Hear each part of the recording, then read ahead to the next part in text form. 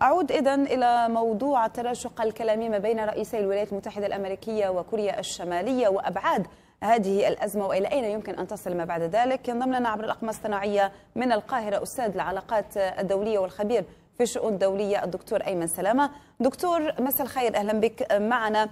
شاهدنا وتابعنا التراشق بالكلمات بين الرئيس الكوري الشمالي والرئيس الأمريكي. يعني إلى أين؟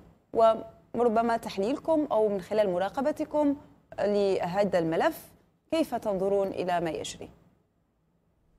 التراشقات الملتهبة العنيفة من كلا الطرفين المحيط الهادي كوريا الشمالية وزعيمها وأيضا الولايات المتحدة الأمريكية الإدارة الأمريكية الرئيس ترامب تراشقات لم نعهدها منذ بدء الأزمة ولكن ما يعني يطمئن إلى حد ما أن كل فريق وبتحديدا الفريق الأمريكي له مستشارون والمفترض أن هناك إدارة جماعية للأزمة ولصنع واتخاذ القرارات. وفي هذا الصدد تحديدا اليوم وزير الخزانة الأمريكي صرح بأن الرئيس الأمريكي سيبذل قصارى جهده لتجنب أي عمل عسكري أو نووي تجاه كوريا الشمالية. لابد أن نشير إلى أن التاريخ يذكر ودون أن في ذات الأزمة 1951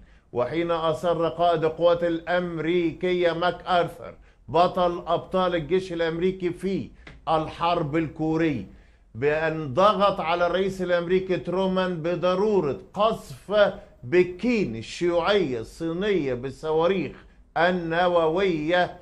لم يمتثل الرئيس الأمريكي ترومان في ذلك الوقت لمثل هكذا انفلاتات ورعونة وسوء تقدير للتبعات الأمنية والاستراتيجية والسياسية والبيئية على العالم بأجمه قام ترومان باستشارة كل مساعديه وأشاروا بعزل قائد القوات الأمريكية في الحرب الكورية ماك أرثر. ذات الأمر من فضلك 1991 وفي منطقتنا العربية الجنرال شوارزكوف الأمريكي قائد قوات عاصفة الصحراء ما بين ظفرين ل 33 دولة حين أصر على الوصول إلى بغداد والإمساك بتلابيب صدام حسين وتحقيق انتصار دعائي عالمي له والولايات المتحدة الأمريكية جورج طيب. بوش الأب طيب أمروا أمرا بالرجوع. دكتور أيمن دكتور نعم أيمن تفضل. دكتور أيمن فقط دعنا نعود في موضوع التاريخ حتى أو حتى التاريخ الحديث. نعم. موضوع الأزمات ما بين كوريا الشمالية تحديدا والولايات المتحدة الأمريكية. هل يعني مر مثل ما نعيشه الآن أم كيف اختلف ما بين الدولتين بالتحديد؟ لم تحدث حتى عام 2006 مثل هذه الأزمة.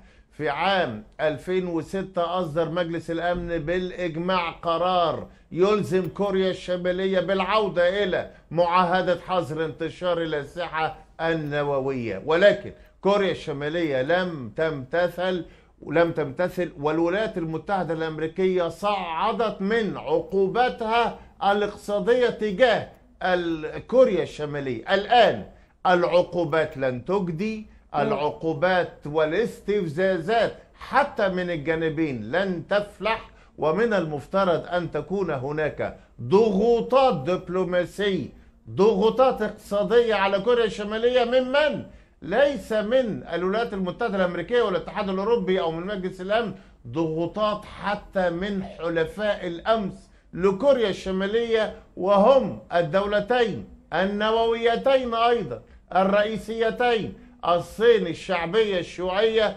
وروسيا الاتحادية لابد اللجوء إلى صوت العقل والمنطق والحكمة نعم. ليس فقط للحفاظ لأن لأن التبعات والمخاطر نعم. وعواقب الأمور ستجر منطقة المحيط الهادي إلى ما لا يحمد عقبه طيب دكتور يعني هل من مخاوف الآن إلى أن تتطور هذه الحرب الكلامية إلى أبعد من ذلك أم آه، تظنون بأنها يمكن أن تقف آه، هنا؟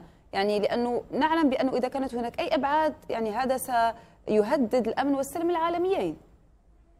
مظبوط أدعو أن تكون صوت الحكمة والعقل والمنطق والتؤدة وال- هي الغالبة وألا تجر الانفلاتات.